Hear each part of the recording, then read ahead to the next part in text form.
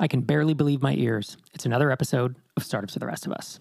Welcome to this week's episode. It's episode 501. Today, I talk with Mike Taber of Bluetick to get his update that I get every month or two. It's good to connect with Mike. Last time we spoke, it was the beginning of the COVID quarantine process. And so it was uh, good to catch up with him today. Before we dive into that, through helpfounders.com, I have volunteered up a couple ad slots for startup founders. And specifically, I had an ad a few episodes back, and every so often, I will be talking about someone in our community and this startup for the rest of us, microconf, bootstrapper, self-funded, indie-funded founder community. And this week, the company I want to talk about is called Versoly, V-E-R-S-O-L-Y dot com. Versoly is a SaaS-focused landing page and website builder aimed, of course, at SaaS marketers and founders. I had the pleasure of speaking with the founder through an impromptu meeting on MicroConf Connect.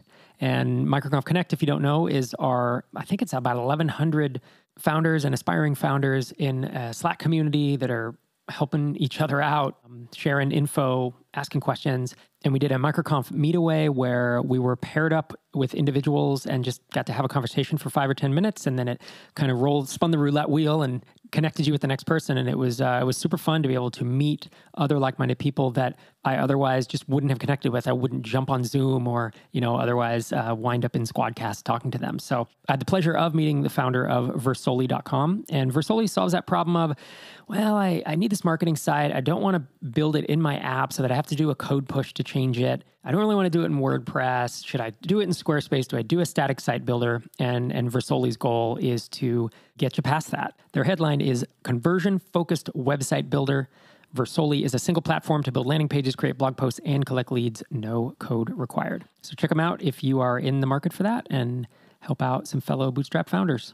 I've been getting great feedback about recent episodes, lots of, of praise, but also some constructive feedback, and it's it's super helpful for me to hear what you're what you're thinking about the episodes. I've been changing up formats, experimenting, and I received a really nice email from a listener and he said, Best episode ever as the subject line. He said, I thought you'd like to know that the two part episode this week, which was episode 499 and 499 and a half, that I recorded with Jordan Gal about the first six stages of SaaS growth. He said, was beyond words stunning. I don't know if people at the start of the journey will appreciate it quite as much, but speaking from a business in the product market fit stage, this was utterly compelling. Two things made it so extraordinary the similarities and differences of your two experiences, which played in my head the similarities, differences with my own. And number two, the way you two built up a picture so similar to the experience I've lived and then explained what's about to happen next, which played in my head as news that I need to know and be aware of. Thank you, and please pass on my thanks to Jordan as well. This was very informative and inspirational. And thank you, thank you so much for writing that email. This was helpful in a couple ways because, yeah, of course, it makes me feel good and it makes me feel like I'm, I'm, you know, onto something with it. But he specifically called out how this was helpful to him and how I'm able to, you know, now in the future think of how I can shape other episodes to have, you know, perhaps a similar focus or similar format. Because there was some unique experimentation with that episode with Jordan. It wasn't an interview, but it it was two people sharing their parallel experiences and kind of comparing and contrasting. And so I'm glad that it resonated. I know we had a great time recording it and could, that's why it went on so long because I felt like it was just so packed densely with with information that I'm hoping can, you know, help startup founders like yourself. So keep an eye out for potentially more episodes like that in the future. And with that, let's chat with Mike Taber, the co host emeritus of Startups for the Rest of Us, who co hosted the show with me for the first 448 episodes and now comes back every month or two to give us updates on his progress with his startup, bluetick.io. Mr. Mike, hashtag Taber. How you doing this week? I'm doing good. How are you? I'm doing all right, man. It's always uh, it's always good to chat with you, catch up, hear how things have been going. Mm-hmm. Yeah, definitely. What's the news? I mean, 500th episode went live last week, man. How does how does it yep. feel to be as old, to be the old the old guy at the club? You ever heard that Chris Rock thing? You're not that old. You're just a little too old to be at the club. Uh, was, yeah, it's, it's, it's I don't know. It's it's been a long ride. yeah, it's a trip. More a little more than a decade. 500 episodes. Although when I I log into Castos and um it looks like there's actually f- like 523 audio files because we've done half episodes, we've done bonus episodes, we've done announcement episodes. You know, there's yep. this, but you know, the numbering is it's what's important, I think. Yeah, I mentioned to my wife that on, on the website there was episode 499.5, and she's like, What is that? so here's what happened actually. I went to record this episode with Jordan Gal and it was just a really good conversation and I didn't want to cut it off. But it was over an hour. We recorded for an hour and 15 minutes. And so I was like, no problem. I will just cut this in half and air one this week and one next week. Of course, I had already had a bunch of stuff planned for episode 500, which was the next week. And it's like, ah, so I need, I want to do this as a two parter. I'm going to do it like a Tuesday, Thursday type thing. That's, that's what happened. And, you know, maybe in retrospect, I should have just left it as an hour and 10 minute episode. It, it worked out fine. It's fine. I think that just having those half episodes every once in a while is like, oh, here's a sort of like little bonus or something like that. That's that's totally fine. Plus, it lets people kind of split it up in their podcast player a little bit. It's like, oh, what's that? Right. It's like, hey, a 30 minute episode's kind of cool. And I, I agree. Like hearing anytime I have a podcast that I like a lot and they unexpectedly release another episode, I'm stoked because I'm like, oh, two episodes this week. I get twice the fun, and so that's that's a little bit what I was going for with that. Four ninety nine point five.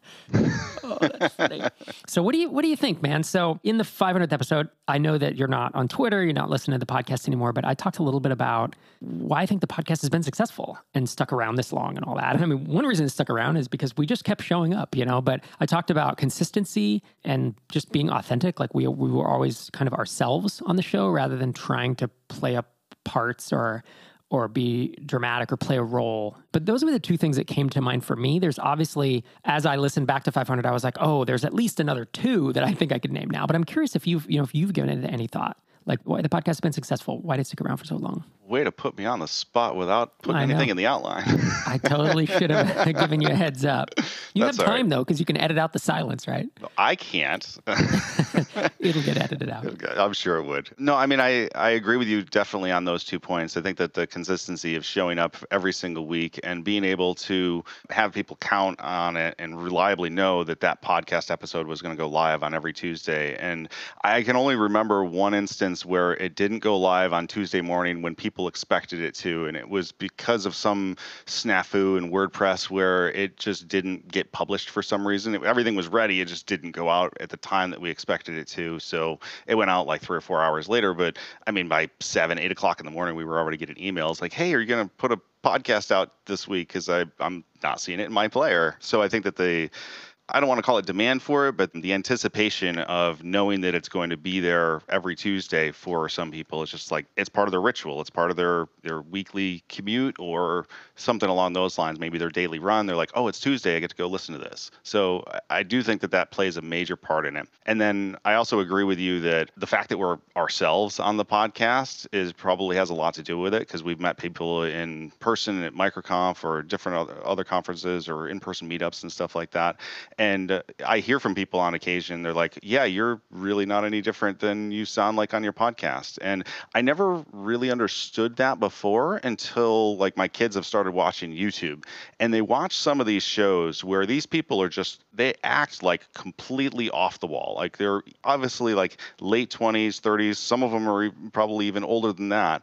And they act like they're 12 and it's just they make these ridiculous comments and it's aimed at a younger audience which i guess you know with youtube you're not really not supposed to do that but i i can almost guarantee that that's not how those people act in real life. So it's like it's an act. It's a show for them.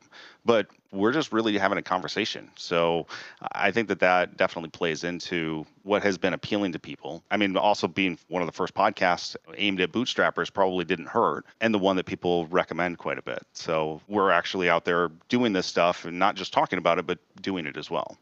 Yeah, it's a it's an interesting point because I have often thought when we launched in 2010, the other like the radio that I listened to was pretty heavily produced. I would listen to like morning shows, and those DJs are totally doing the performance thing, right? With the horn, Sunday, Sunday, Sunday, you know, and the, their voice is just, it's like, whoa. But, you know, some people have come on the scene who do have these big personalities. And, like, you know, I think of like a Gary Vee, where, like, when he actually sits down, he's pretty chill, but definitely on his video blog, like, he played it up big time when he was, you know, doing the wine tasting but it worked for him. And so that's the thing is I, I wouldn't say, oh, you you should just be authentic because we did and, and it's worked for us. I honestly wonder if perhaps it's to our detriment because you and I are kind of chill, even keeled people. And maybe if we had played it up and had a bunch of drama, we'd like have would we have twice the audience? So you know maybe it's a, a, a counterfactor, and just just the fact that we've been around ten years has been the reason for success. Shut up, Rob. You don't know what you're talking about. Love it. Yeah, like, let's start. We've like never had arguments on the air except for about desktop versus laptop, Mac oh. versus Windows. But this will be it. This will be the argument. we'll just go back to an arm wrestling match. I mean, I, you know, uh, it's funny that I, I bring that up almost facetiously, but like most of the audience probably doesn't know this. But the um, first microconf that we ran, the last question I put on the 45, 50 plus question survey was who would win in an arm wrestling match, Mike or Rob? And 75% of the audience said me. So I think we should revisit that and put oh, that on man. another survey. Those poor suckers. we should, and we should make it a little interesting. How about we put a little green down on this uh, on this thing? then we're actually going to have to have the the arm wrestling match at some point, though. We'll do the match, and, and once I know when it's scheduled for, I'm going to start just all the time when I'm on phone calls. I'm just going to be doing curls with my right arm, just pumping and just pumping it, and have a huge bicep on the arm. Well, man, it's it's cool to have uh, made it to 500, and I'm glad you're able to join us again this week to kind of catch us up on on what you've been up to over the past seven weeks. It's been seven weeks since our chat, episode 494. Frankly, the the two calls prior to that, our two conversations were positive. You were upbeat you were motivated, things were working, you had more than doubled in about four or five months. And then last time we talked was right it was in late april it was right at the beginning or kind of as a couple weeks into the whole covid quarantine stuff. And you basically said that current trajectory of growth had not continued. You had plateaued and i felt like both of us were kind of like yeah a lot of apps are doing that right now. There's so much uncertainty.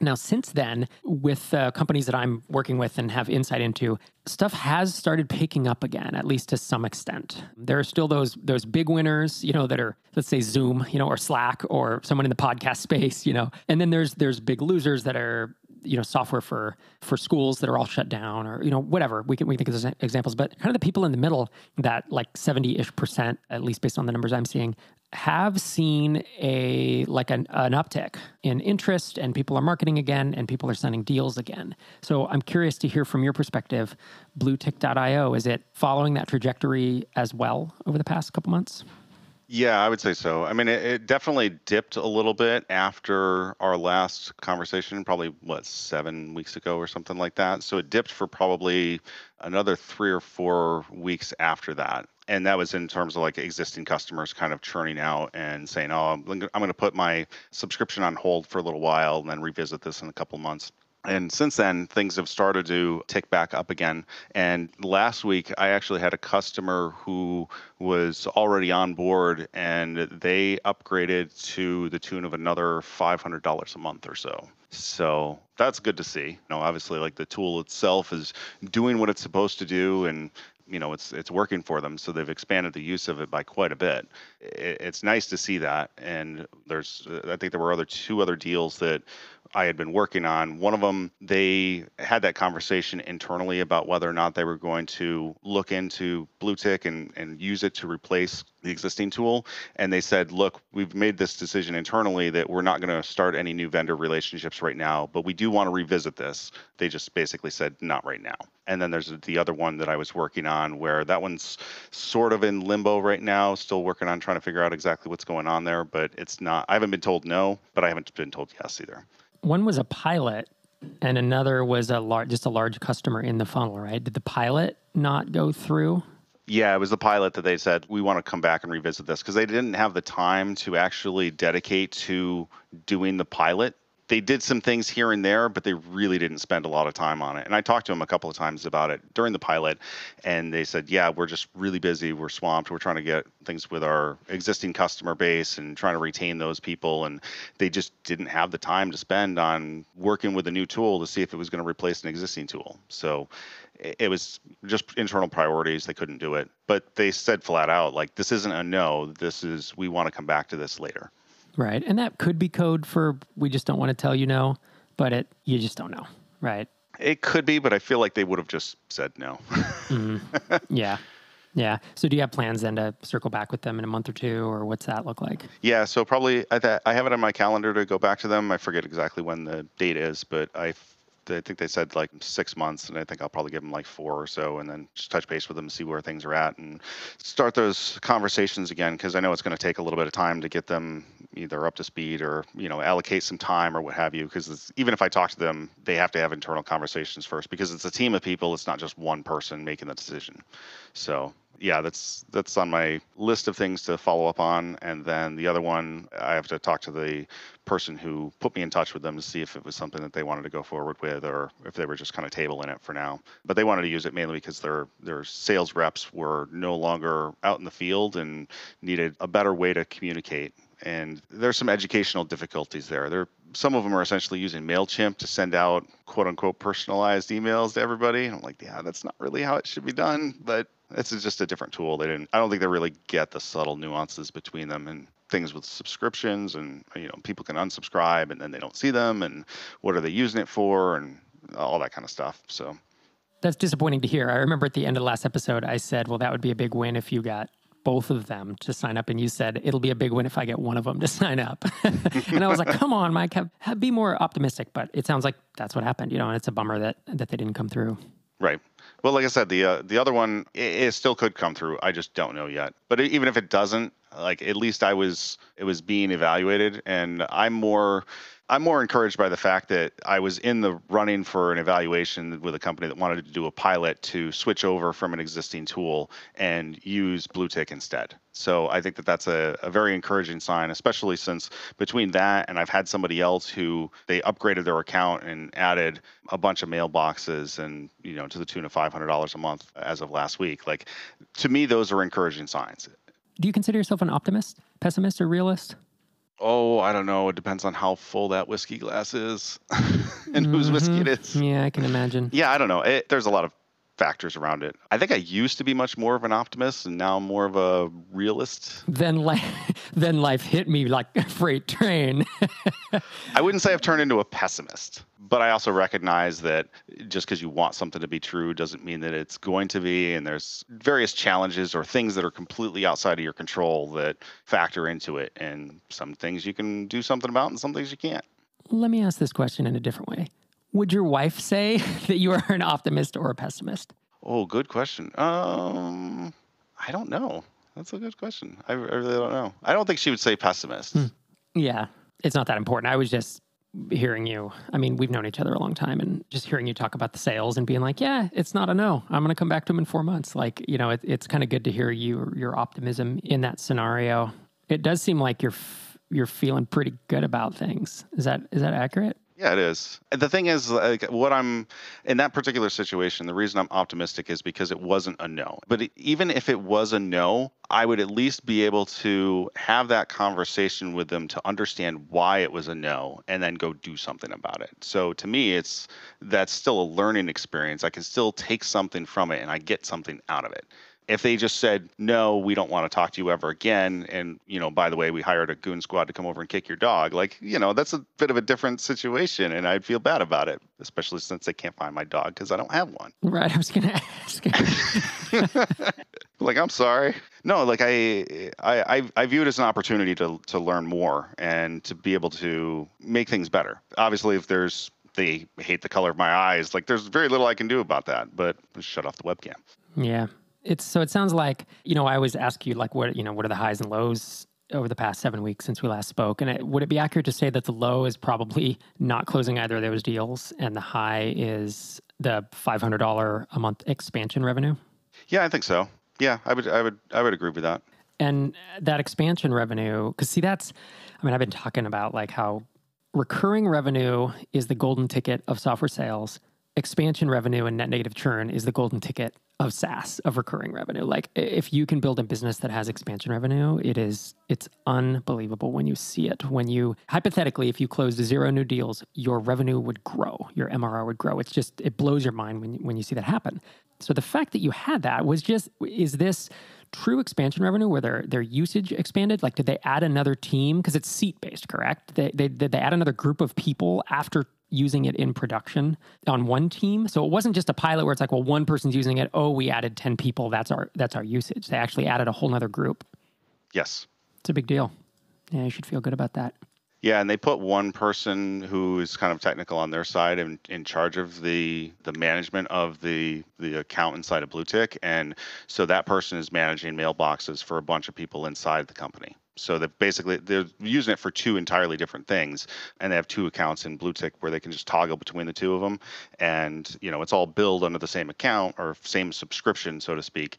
It's just two entirely different groups of people that are using it for entirely different things. So, and it's nice to see that that that's an option for people because I did add that in this past year where it lets them do that because previously you you couldn't do that. It was just you'd have to sign up for a brand new account.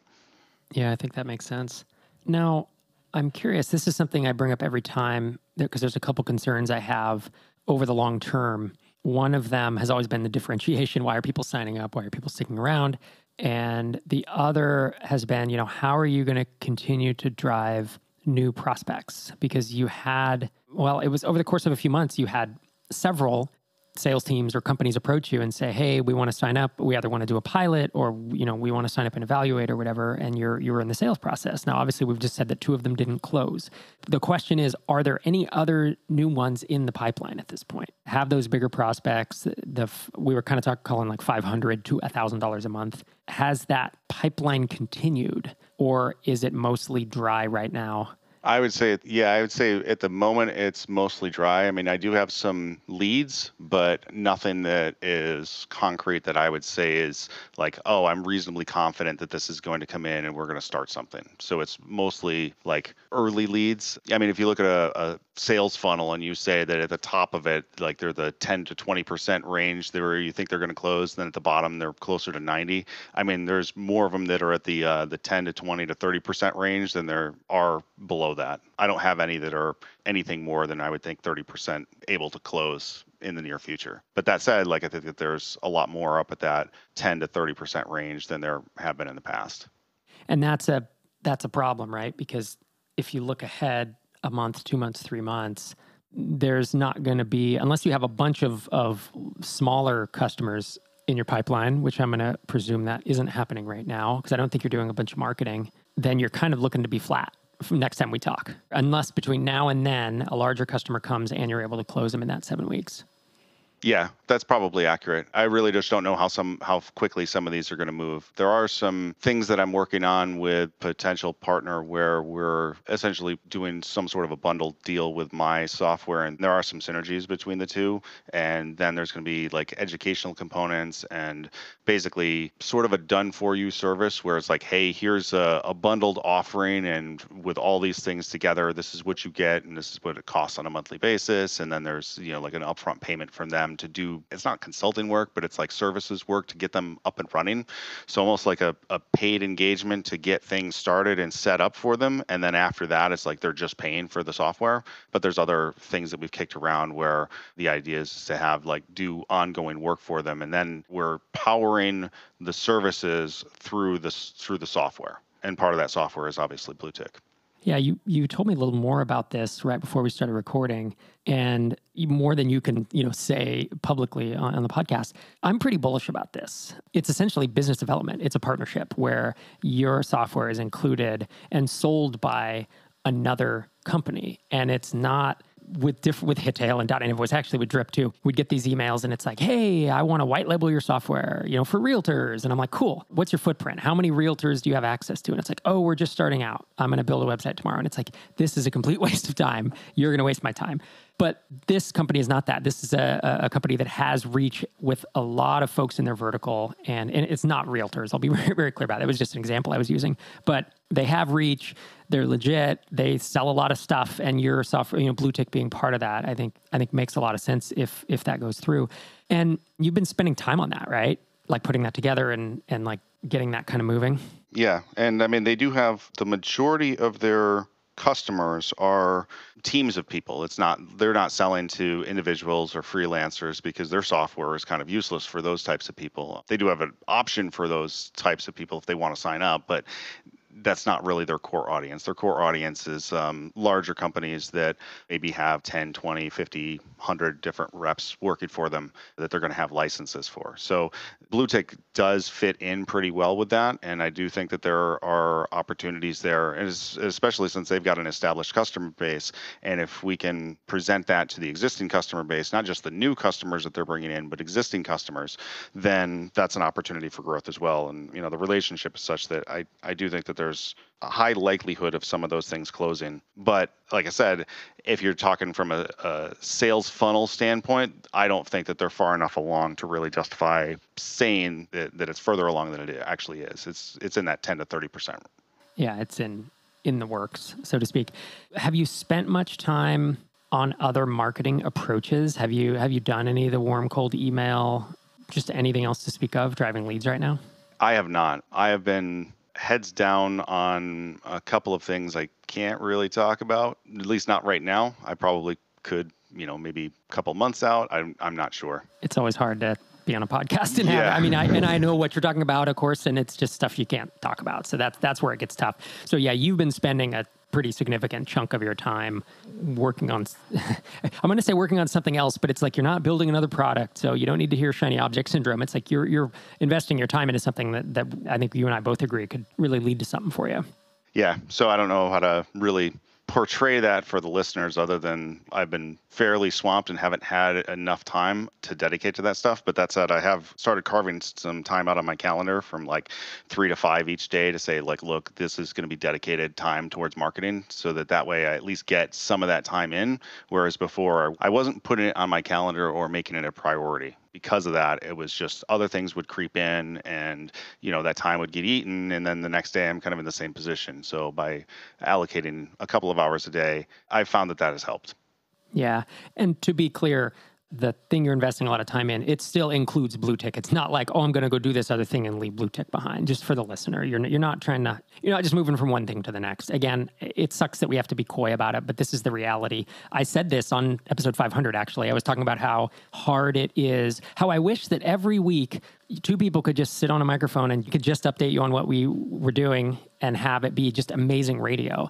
But in my experience, and I think your experience doing it for for 10 years, it's it's just not always the case. Some weeks, just nothing interesting happens. Other weeks, interesting stuff happens that you can't talk about. This was a really hard thing for me during the drip acquisition process that took 13 months and was for five months was like 30 hours a week for me. And so every week I'd show up and be like, uh, I got to think of something to tell people and, and, felt a little inauthentic and awkward. But then it's like, you, you, just can't, you know, you can't talk about that. So, so that, that's what that is. And, and we'll circle up and depending on timing on the next one, maybe I will check in with you and be like, Hey, is it at a place where we can talk about it? So maybe we go a little further out you know, maybe we go more than seven weeks in between it if if it makes sense to where we can talk about that. I'm curious, you know, that this the whole seal.net component that you had old customers, existing customers were still using it, and you had implemented it with a feature flag such that new customers went on a different component and it was going to be, for, I believe, for the one that was going to do the pilot with you or that did the pilot with you.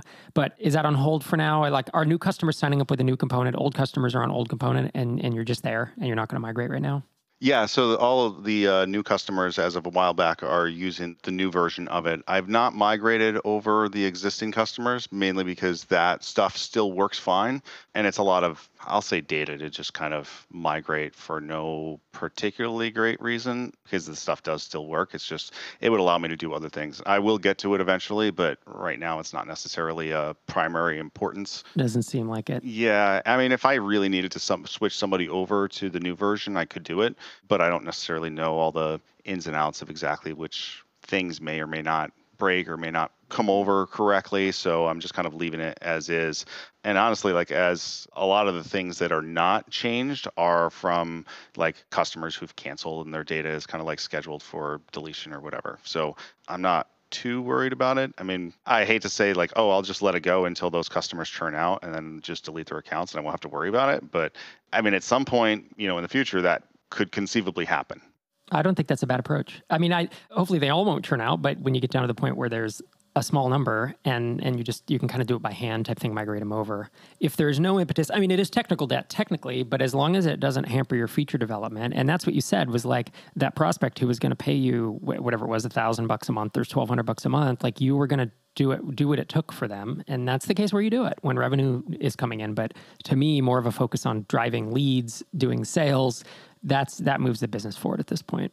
Yeah. I don't see any major impetus to go back and make changes to those existing accounts because like i said they they work fine. It's just that it the new storage mechanism allows me to do more. Yeah, I kind of I think I'm just going to delete this from the out like from the future because I, I just I don't know that it makes sense for me to keep asking you about it because it's it's at a you know while it's technically it's not done it's done enough right? The fact that new customers are using something that you can write tests for and that you're happy with it that happens all the time in SaaS. We still have 30 people on V1 billing and we're on V6 billing. Like that that happens and they're using old code. It's not not the end of the world. As engineers i know you and i would love we want all the I's dotted, the T's crossed, we want it gold plated, and I want everything to be clean. It's not always the reality. And in fact, it's, in my experience, never the reality, especially with a SaaS app that's going quick, that needs new features, that needs sales, that needs all the stuff. You just don't have the luxury sometimes to fix everything.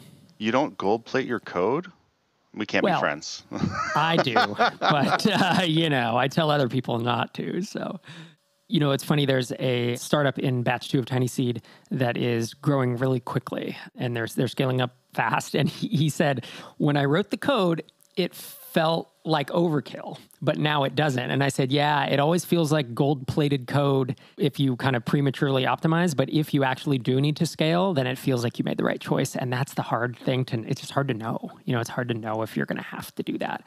I felt like with with Drip, Derek and I, like we made he he made some like a lot of great engineering decisions, and he wrote really good scalable code. But we just we kept outpacing it and we would have to every four to six months go back and do this and upgrade the database and stuff and that was that was taxing on on both of us i think but it would have been crazy it would have felt crazy to do a microsystems architecture from the start with all these different data stores and just when we were launching to 200 people. That would have sounded ridiculous. But if your aspirations really are to get to millions of dollars of revenue, I, I think I would do it differently this time. You know, just always, it's such a hard judgment call.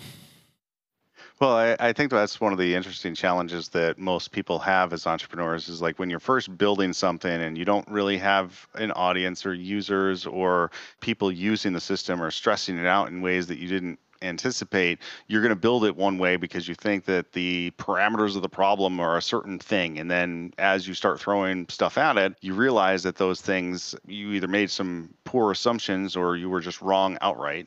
And then you have to redo them. So you have to do that refactoring process. And then if you were to create a new SaaS app, or if you decided, oh, we're, we're going to go back and we're going to rewrite this, or you move on from one project to another that is a in a similar domain or has similar types of operations, you're going to build it fundamentally differently because you know the challenges that you're going to run into in the future. And uh, most people do not have the experience of building multiple SaaS apps from the ground up. And that's what makes it hard. It's like if I were to redo things from today, like, oh yeah, there's definitely a lot of decisions I would make very differently. And I'm sure that you and Derek would have made different decisions building Drip, but you don't know those until afterwards. And at that point, it's like, yeah, you just got to deal with whatever technical debt you've built up.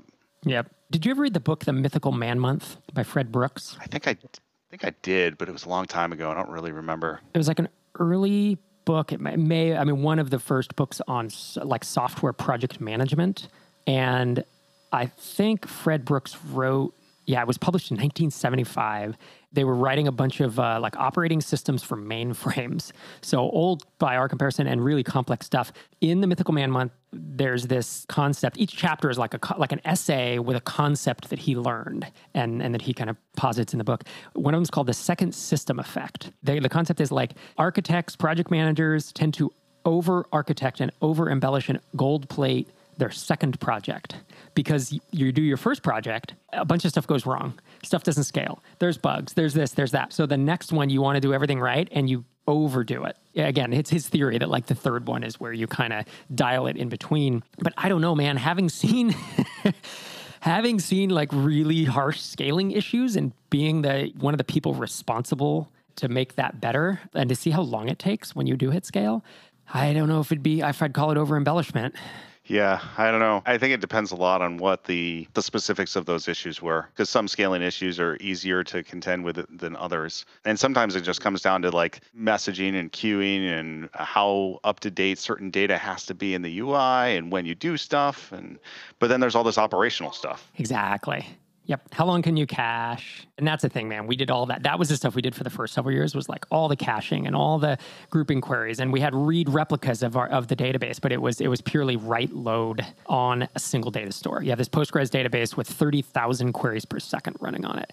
You just hit limits, you know, and, and we had terabytes. I don't remember what Amazon's biggest box was in terms of RAM, but we had eight terabytes of data uh, of RAM or whatever, and it still couldn't fit the whole data. You know, it's those types of things where you literally you're at the extreme of it's it's no longer, oh, I need to improve this code. It's like we need an entirely different data store, whether it's a separate Postgres database or more likely an entirely a document database or you know something that just has incredible write throughput. But anyways, we're we're way off track. Let's. Uh, I think this is an interesting tangent, but I, I I don't don't know do we need to keep covering it. I'm curious, kind of as as we think about wrapping up. There's two things. One is it sounds to me like like your motivation is is healthy and and you're feeling good. Your sleep is okay, is it? Yeah, it's generally pretty good, which I'm surprised at, given the you know the pandemic and everything else that's going on and all the additional stress for everything. And my wife's business was holding out pretty well for a little while, and then things kind of started to take its major downturn. Yeah, I was gonna ask you about that. Yeah,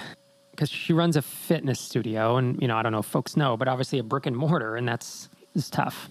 Yep. I forget. I'd have to check with her, but I think that the revenue was down by like 50% as of last I talked to her. Yeah, I mean, it's a subscription business, but people are not you know, they're like, I want to put my membership on hold. And granted, I get that. She's done a lot of stuff to do virtual classes, and she's she actually rented out her bikes. So she has 20 spin bikes in her studio. And what she did was she, for an additional, I think it was like $50 a month, you could, on top of your existing membership, she would give you one of those bikes, and you could take it home and obviously it's got to be returned at some point but while virtual classes are going on you could use that spin bike to take the virtual class with the instructors that you liked and everything else so it has offsets to some extent the amount of money that she is not making but there's still a lot of people who've switched over and said yeah I just pause my membership until this is over. So we live in massachusetts and with the new guidelines that are coming out from the governor like she her as a fitness studio she's in phase three and that starts presumably in three weeks. Like phase two just started a couple days ago and three weeks it'll be like the 28th or so of June, and that's when she's supposed to be able to open up. But right now it's unclear how big her classes will be able to be so she may have to reduce capacity to like 25% and you know like there's lots of services types businesses that can't survive on 25% capacity. They just can't. So it's a question of okay, well, how is that going to go? yeah, it's really tough, man. For sure. So obviously that's got to be a source of stress for you. It is. Well, it's more stressful for her than it is for me because I'm trying to not pay attention to it and keep my head down because, uh, I mean, that's completely out of my control. So it's not exactly callous. I mean, I guess it is to some extent, but it's like that's her problem to deal with right now. And it's like if I get involved and get stressed out over it, like there's literally nothing I can do anyway. So why work myself up over it? It's like she's kind of got things under control. So I don't know. I mean, I'll help out to, to whatever extent I can, but there's only so much that I can do. And so, what are you looking forward to most over the next, well, between now and the next time we talk? Let's say we talk in six, seven, eight weeks. What are you excited about? I have some things going on for at least on the sales side of Bluetick, which, as we mentioned before, like I can't really talk about them yet, but I'm kind of excited to see how those turn out and what comes out of that. It'll just be hopefully interesting. If not, I guess it'll be a good story. But I think I think it'll be interesting to see what comes out of that, and it could be like additional integrations and stuff like that as well. But we'll see. Very cool, man. As always, hope you're staying safe, and uh, thanks for joining me on the show again. Yeah, no problem. Thanks for having me back, and I will be back on Twitter like in what is it, two days or so? Yeah, something like that. Well, I don't. Well, it's been it's been like what a year. Oh, did you? Is that was that your goal? Was to take a year off? Yeah. Wow. I'm fascinated to hear how that goes for you. Like if if you feel like it is worth getting back on or if you should just stay off because I don't know. I have some friends who've gone off of it and uh, they don't want to go back, you know. yeah, I'm just curious, you know, as an experiment, it's just curious to hear. I'm curious to hear your thoughts on it once once you get back in there. Yeah, the year off was sort of an experiment anyway, but I really just needed a break from Twitter. I've found it to be fairly refreshing. Although there's there's definitely things that I mean I'm not on Facebook very much either. Like I think I posted once or twice, but only because I was uh, I won't say required by law, but you know required by friendly threats. it's like hey, we, we want to hear from you. Um, so have been a couple of things here and there, but I just I just don't check it. So it's it's nice to have that aspect of it, but there's definitely people that I would say I've kind of lost touch with or don't interact with nearly as much as I used to that I kind of miss that. For sure. There's a social aspect of it. And, and, you know, honestly, it was, I was bummed that you weren't on when we did the big MicroConf 2020 announcement that, of course, had to be all changed now that the COVID was. And, and there's been, I don't know, there's just been milestones that I kind of wanted you to be on Twitter and engaging in. And, and I knew that you weren't on it, you know, so it'll, it'll be cool to, uh, kind of have you back there to share in that. Give me two days. two days. Sounds good, man. I have not gone to look at like my list of notifications either. Like I'm so gonna go send you a bunch of uh, DMs and app mentions. I'm just gonna probably ignore them to be honest. Like I don't, well, I don't if know it's older it's than a week, right? Is it? Like, yeah. Really, or a couple days if it's a tweet, you know. Cool. Well, thanks again, man. All right, good talking to you, and we'll talk to you next time since Mike's going to be back on Twitter soon. If you're not following him, he's at Single Founder on Twitter. And hey, if we're not connected on Twitter, hit me up at Rob Walling. Hope you have a great week ahead. Thank you for listening. I'll see you next Tuesday.